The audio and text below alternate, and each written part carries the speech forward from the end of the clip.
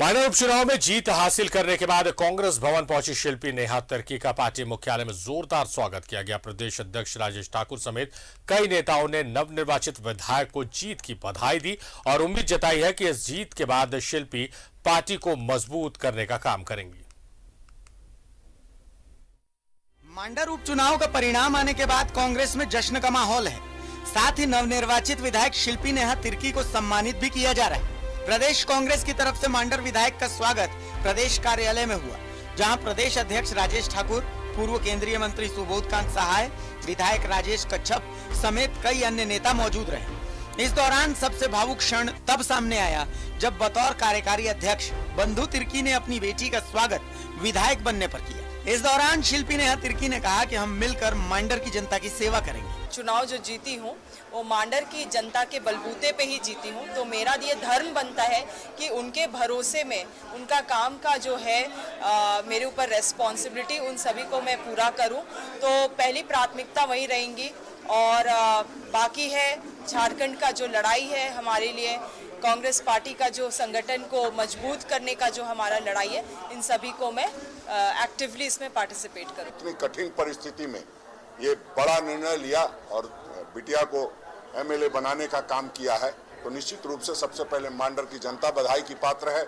उसके बाद हमारे तमाम नेतागण जो लगातार वहाँ कैंप कर रहे थे वो धन्यवाद के पात्र हैं। हमारे सीएम इसको बारीकी से देख रहे थे, आदरणीय हेमंत सोरेन जी।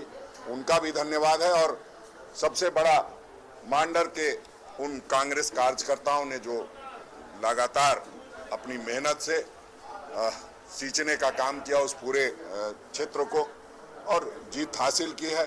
तमाम उन लोगों का भी धन्यवाद। इस सम्मान समारोह में प्रदेश कांग्रेस अध्यक्ष ने उपचुनाव परिणाम के बाद बीजेपी पर जोरदार हमला बोला है। राजेश ठाकुर ने बाबूलाल मरांडी को चुनौती देते हुए कहा कि लगातार चार उपचुनाव में अपनी पार्टी के लिए हार का मुँह देखने वाले बाबूलाल मरांडी को राजधनवार से इस्तीफा देकर उपचुनाव लड़ना चाहिए। और भारतीय जनता पार्टी के नेता के लिए मैं विशेष कर इसलिए बोलूँगा कि वो लगातार आदरणीय बंधु तिर्की जी के संदर्भ में ऐसी हल्की बातें कर रहे थे जो पूर्व मुख्यमंत्री होने के नाते नहीं करना चाहिए। हालाँकि वो अपने बारे में भी हल्की बातें करके फंस चुके हैं।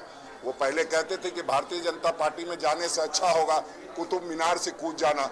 और जब से भारतीय जनता पार्टी में गए हैं, चौथी बार कुतुब मीनार से कूदना पड़ा है।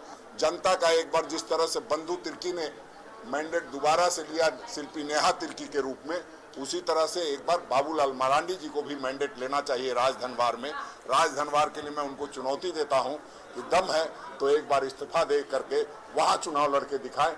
मांडर में मिली जीत से कांग्रेस उत्साहित है। इसकी वजह भी है। अलग झारखंड बनने के बाद पार्टी पहली बार यहाँ जीत हासिल करने में सफल हुई है।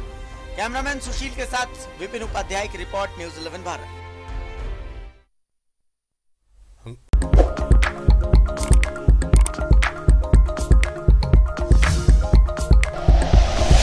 Like and share videos, subscribe करें हमारा चैनल और प्रेस करें बेल आइकॉन न्यूज़ 11 भारत. सच है तो दिखेगा।